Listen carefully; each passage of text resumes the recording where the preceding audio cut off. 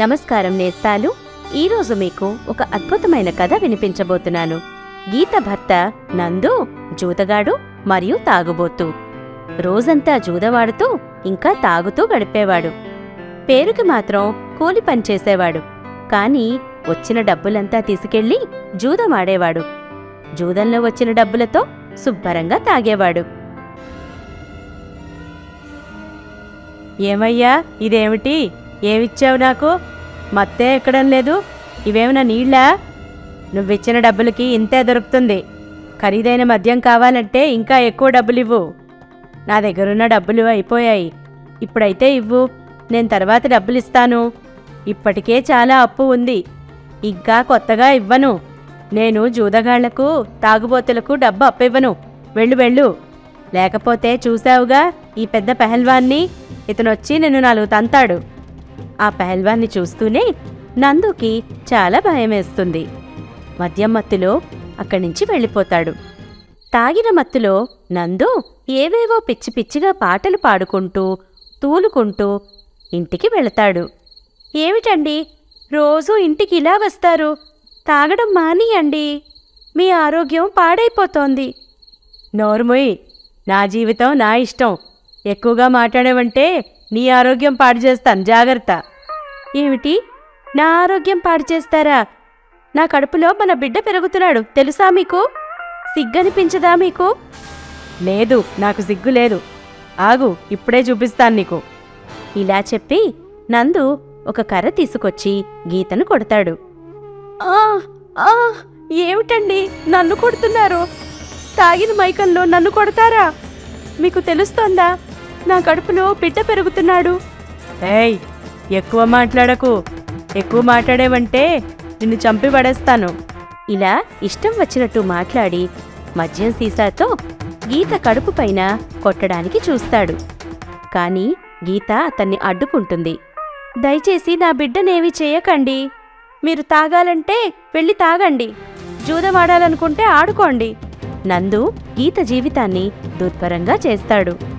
కానీ గీత అతను ఏదో ఒకరోజు తప్పక మారుతాడని ఆశతో ఉంటుంది.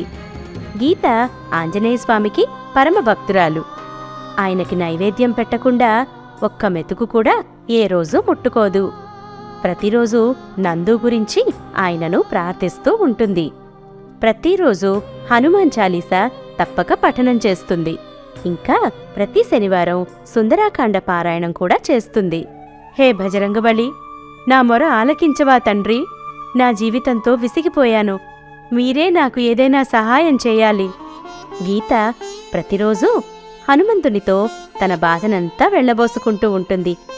కాని ఆమెకు ఏ రోజు సమాధానం దొరకలేదు. ఒకరోజు నందు శుభ్రంగా తాగి ఇంటికొస్తాడు. కొంచెంసేపటికి స్పృహ తప్పి పడిపోతాడు. మెలకువ వచ్చాక రక్తపు వాంతులు చేసుకోవడం మొదలు పెడతాడు స్వామి ఆంజనేయ ఇతని ఆరోగ్యం ఇంకా పాడైపోతోంది. నందుని హాస్పిటల్కు తీసుకువెళ్ళడానికి చుట్టుపక్కల వారిని సహాయం అడుగుతుంది. నందుని పరీక్ష చేశాక డాక్టరు గీతతో చూడండి మద్యం తాగడం వల్ల ఇతని లివర్ పూర్తిగా చెడిపోయింది. ఆపరేషన్ చేస్తే గాని ఇతడు బతకడు. ఇతని వైద్యం కోసం బోలెడంత డబ్బు ఖర్చవుతుంది అని అంటాడు. ఎంత ఖర్చవుతుంది డాక్టర్ గారు? రెండు లక్షలు. ఇది విని గీత మిన్నకుండిపోతుంది. కష్టాలొస్తే గాని మనిషికి జ్ఞానం రాదని అంటారు కదా. నందుకి అతని చావు కళ్ళ ముందర కనిపిస్తూ ఉంటుంది. గీతతో గీత ఇన్ని డబ్బులు ఎక్కడి నుంచి తీసుకొస్తావు? మన దగ్గరైతే లేవు కదా. ఇప్పుడు నేను మరణిస్తానా? లేదు లేదు. అలా అనకండి. నేనుండగా మీకేమీ కాదు. మనకి తోడు ఆ బజరంగ బలియే ఉన్నాడండి. ఆయన తప్పక మీకు తగ్గిస్తారు. గీత వాళ్ళ నాన్న ఆటో నడిపించేవాడు. అందువల్ల గీతకు కూడా ఆటో నడిపించడం వచ్చు. ఇంతకు ముందర కూడా ఆమె తండ్రి ఆరోగ్యం బాగాలేనప్పుడు గీత ఆటో నడిపించేది. అందుకని గీతకు ఒక ఆలోచన వచ్చి ఆటో రిక్షాని అద్దెకు తీసుకుంటుంది. ఆటో నడిపించడం మొదలు పెడుతుంది.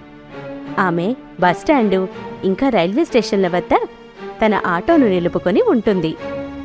తన ఆటోలో సవారీ తీసుకోమని అందర్నీ పిలుస్తూ ఉంటుంది.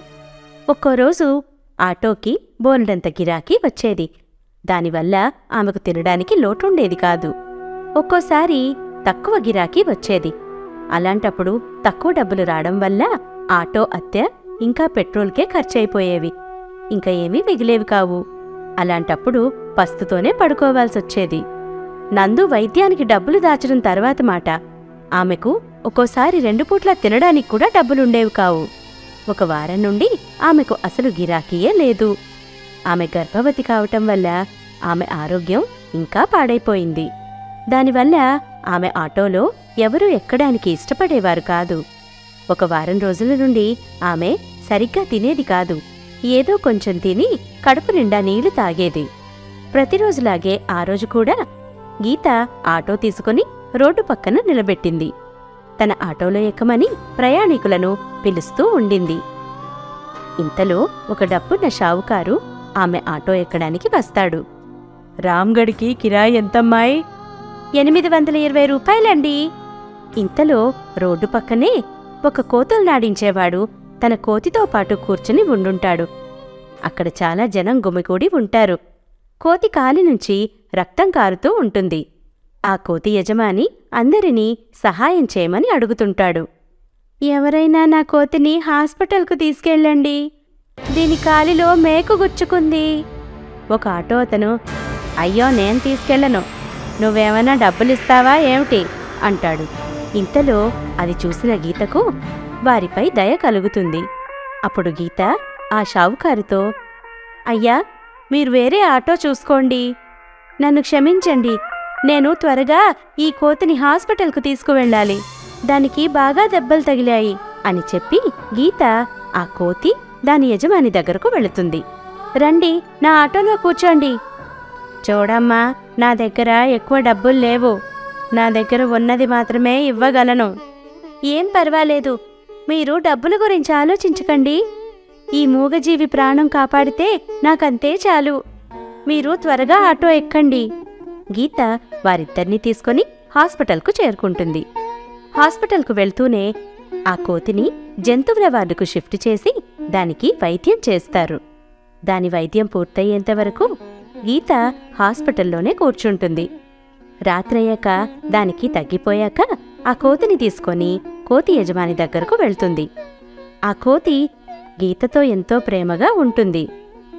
నువ్వెంత మంచిదానివమ్మాయి! నువ్వు ఈ మూగజీవిని కాపాడావు. ఈ కాలంలో ఇలాంటి వాళ్ళు ఎక్కడున్నారమ్మా పైగా నువ్వు గర్భవతివి కూడాను. ఇంకా నీ భర్త హాస్పిటల్లో ఉన్నాడు కూడాను. నీ భర్త వైద్యానికి అంత డబ్బు అవసరం ఉన్నా నా దగ్గర నుంచి నువ్వు డబ్బులే తీసుకోలేదు. ఆ కోటి యజమాని నోటి నుంచి ఆ మాటలన్నీ విన్న గీత ఇవన్నీ అతనికెలా తెలుసా? అని ఆశ్చర్యపోతుంది. ఇదంతా మీకెలా తెలుసండి? నాకంతా తెలుసమ్మా నువ్వే చెప్పావు. ప్రతిరోజు నీ బాధంతా నాకు చెప్పుకుంటావు కదా. నేనెప్పుడు చెప్పాను మీకు? నేను మిమ్మల్ని ఇవాళే మొదటిసారి చూస్తున్నాను. మీరేమంటున్నారండి? ఏంటి? నువ్వు నన్ను ఇంకా గుర్తుపట్టలేదా? లేదండి మీరెవరు? హఠాత్తుగా ఆ కోతి యజమాని మాయమైపోతాడు. గీత ఎదుట సాక్షాత్తు హనుమంతుడు ప్రత్యక్షమవుతారు. గీత కళ్ళలోంచి కన్నీళ్ళు జలజలా కారుతాయి. బజరంగబలి మీరా! నా జీవితం ధన్యమైంది స్వామి. నాలాంటి పేదరాల్ని ధనం లేకుండానే ధనవంతురాల్ని చేశారు స్వామి. భక్తులు గొప్ప పేద ఉండరు. భక్తులు భక్తులవుతారు అంతే. నేను శ్రీరామునికి ఎలాంటి భక్తుడినో నువ్వు నాకు అలాంటి భక్తురాలివి. నువ్వేం బాధపడకమ్మా. ఈరోజు నీ కష్టాలన్నీ తీర్చేస్తాను. ఇంక నువ్వెప్పటికీ సుఖంగా ఉంటావు. అప్పుడు ఆంజనేయస్వామి హాస్పిటల్కు వెళ్ళి నందు తలపైన చెయ్యి వేస్తారు. అక్కడ్నుంచి అదృశ్యమైపోతారు. గీత ఇంటికొచ్చి చూసేసరికి మంచం మీద బోలెడని డబ్బులుంటాయి. మరికొన్ని రోజులకు నందుకి ఆరోగ్యం బాగైపోతుంది. మరికొన్ని రోజులకు ఇంటికి వచ్చేస్తాడు. నెల రోజుల తర్వాత గీతకు ఒక కొడుకు పుడతాడు. బాలుని పేరు మారుతి అని పెడతారు. ఈ విధంగా బజరంగబలి గీత ఇంకా నందుల కష్టాలను తీరుస్తాడు. వారు సుఖవంతమైన జీవితాన్ని గడుపుతుంటారు. నేస్తాలు కథ నచ్చిందా? కామెంట్ బాక్స్లో తప్పక తెలియచేయండి. ఇలాంటి మరిన్ని కథల కోసం మా ఛానల్ను సబ్స్క్రైబ్ చేసుకోండి. ధన్యవాదాలు.